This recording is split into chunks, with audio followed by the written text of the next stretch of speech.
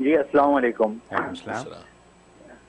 जी आ, मेरा सवाल जो है वो पाकिस्तान में जैसे कि बहुत बड़े कॉमेडियन थे जनाब उमर शरीफ साहब उनका इंतकाल हो गया अभी हाल में। आ, पूरा पूरी कौम को उनका सदमा भी है और लोग उनको मुख्तलिफ़ जगहों पर याद कर रहे हैं। दुनिया में तो बहुत पॉपुलर थे और लोगों को बहुत उन्होंने हंसाया। और अब वो जब चले गए तो उनकी बहुत सी क्लिप सामने आ रही हैं। जैसे अभी रिसेंटली एक आ गई कि वो मौत का उनको बड़ा खौफ रहता था। अब उनके अमाल कैसे थे? लेकिन ये है कि उन्होंने चूँकि वसीयत कर दी थी कि मुझे अब्दुल्ला शाह गाजी रहमत के मज़ार में उनके पहलू में जगह दी जाए और फिर हुकूमत पाकिस्तान ने उसका काम भी शुरू कर दिया और उम्मीद यही है कि इनको वहाँ पर जगह मिल भी जाएगी। तो सवाल ये था कि किसी अल्लाह वाले की सोबत में अगर जगह मिल जाए कबर की तो इससे क्या हम कुछ डिसाइड कर सकते हैं कि उसकी अल्लाह के यहाँ क्या मकबूलियत होगी क्योंकि लोगों में तो उसकी मकबूलियत वाकई थी और अच्छे उनवान से ही थी कि सबको उसने हटाया। तो क्या अल्लाह के यहाँ उसका कोई मकाम इससे मुतन हो सकता है कि इंसान कैसी ज़िंदगी गुजारे और अगर बाद में औलिया के पहलू में उसको जगह मिल जाए? तो क्या इसमें शरीयत का हमें हम आपसे चाहते हैं? बहुत शुक्रिया बड़ा रेलिवेंट आजकल के हिसाब से सवाल आ गया। बकिया वीडियो देखने से पहले वीडियो को लाइक करें राहम टीवी चैनल को सब्सक्राइब करें और बेल आइकन पर क्लिक करें। शुक्रिया।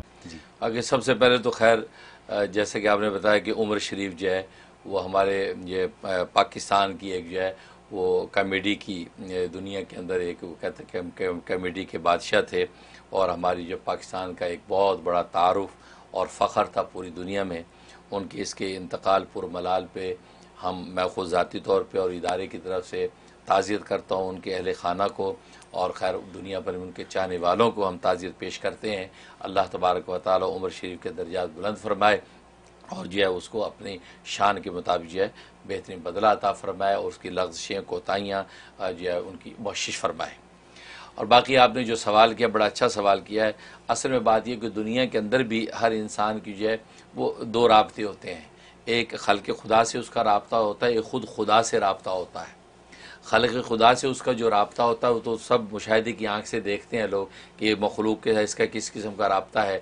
जैसे उमर शरीफ है तो उसका मखलूक खुदा के साथ किस किस्म का रबता है, यानी हंसने हंसाने का रबता है, और उन लोगों को जो है वो गोया कि एक तफरी मुहैया करना और अपनी जो है वो सलाहियतों को जो है, वो हंसने खेलने के अंदर जो है, वो सर्व करना एक है इसका रबता एक है ख़ुद खुदा से रबता अब खुदा से रबते जो है, वो बस अवत बहुत से ऐसे लोग होते हैं, उनके रबते पर्दा खिफा में होते हैं। आम लोगों को पता ही नहीं होता कि इसका अपने अल्लाह से क्या रबता है। क्योंकि ये ऐसी मुना जाते हैं कि रात के अंधेरों के अंदर वो खुदा जो है, वो अपने बंदों से बातें करता है, बंदे अपने खुदा से बातें करते हैं। और वह ऐसे रबते आमतौर लोग पर्दों में रहते हैं। अब हो सकता है कि उमर शरीफ जो है जैसे कि आखिर वक़्त में भी उन्होंने जो ऐसी बातें की हैं कबर का खौफ और कबर के हवाले से जो बातें की हैं तो ज़ाहिर है कि ये अल्लाह का, खौफ जो है ये ख़ुद बख्शिश का एक बहुत बड़ा सामान होता है। और बख्शिश के लिए बहुत बड़ा टूल होता है कि अल्लाह का खौफ। लिहाजा हदीस में आता है कि अल्लाह के खौफ से अगर किसी की आँख से एक जो है मक्खी के सर के बराबर आँसू टपक जाए तो अल्लाह तबारक वाली उस आँसू के ज़रिए से उसकी जहन्नम को बुझा देता है। तो लिहाजा उसकी जहन्नम भुज गई तो उसके लिए जनरल का फैसला हो गया। तो वो अगर इस तरह का खौफ ज़ाहिर कर रहा है और ख़ास तौर पर बीमारी का अल्लाह ने एक उसको अरसा दिया, उस बीमारी की हालत में तो ये बहुत ही मौाक़े आते हैं कि इंसान अल्लाह तबारक वाल से रुजू करके जो है, वो आखरत की ज़िंदगी की तैयारी करता है, गुनाहों की माफ़ी माँगता है मफ़रत तलब कर लेता है तो उसको बड़ा मौका मिल जाता है। इसे तो हदीस में भी ये बीमारी की जो मौत होती है, उसको पसंद किया गया है कि उसमें तोबा का भी मौका है, वसीयतें करने का मौका है। गुनाह याद आके इंसान जो अल्लाह के सामने अपनी कोताही को इकरार भी करता है। तो उमर शरीफ के हवाले से इस किस्म की जो बातें आई हैं तो वो भी जो है काबिल सतश हैं और उसके लिए आगे अच्छी उम्मीद और अच्छे साइन हमें नज़र आते हैं। फिर यह कि अब ये वसीयत की कि, कि अब्दुल्ला शाह गाजी रहमत जो है वह एक अल्लाह के वली उनके जो है पहलू में या उनके जो है मज़ार में जो है उनकी जो है कब्र बनाई जाए और हुकूमत फ़त ने जो है ज़ाहिर है कि अपने पाकिस्तान के जो है वो एक लेजेंड की, की कदर की और वहाँ कोशिश की जा रही है कि वहाँ उनकी खबर बने।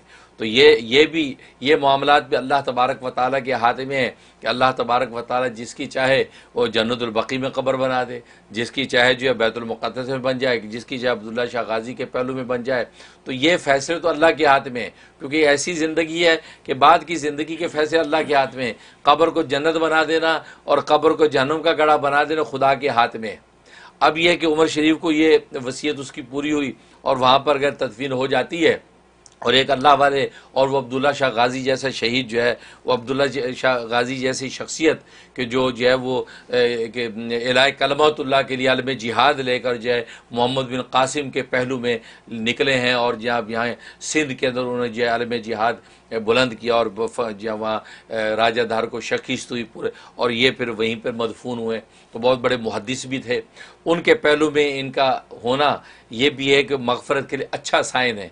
तो उमर शरीफ के बारे में हम अच्छी उम्मीद रख सकते हैं कि हो सकता है अल्लाह तबारक व ताली इस अल्लाह वाले की सोबत क्योंकि याद रखें, किसी नेक की सोबत के अंदर जो है, अगर कब्र बन जाए, किसी नेक के पहलू में बन जाए तो ये जैसा कि लिखा है ना कि रहमतें जब अल्लाह वाले पे उतरती हैं तो दाएँ बाएँ वाले भी जो छींटे जो है, उन पर भी पड़ते हैं। वो भी महरूम नहीं रहते तो उस बरकत से उनकी बख्शिश। और ये तो अम्बिया की सुन्नत है। अरे मूसा सलाम ने ये दुआ की अल्लाह, मेरी खबर जो है बैतुलमक़दस में, जो बड़े बड़े अम्बिया और और आपके महबूब जो मौजूद हैं, उनके पहलू में वहाँ मेरी खबर बनाना।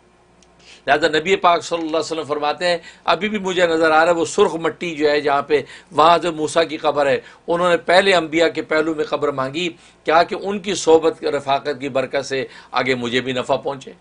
ये उनकी इज़्ज़त था हालाँकि खुद ज़रूर कदर पैगंबर है, लेकिन ये एक इंसानों के लिए तालीम है, किसी नेक की सोबत में कब्र होना, ये इंसान की बख्शिश का एक बेहतरीन साइन होता है और उसके बारे में हुसन जन रखा जा सकता है।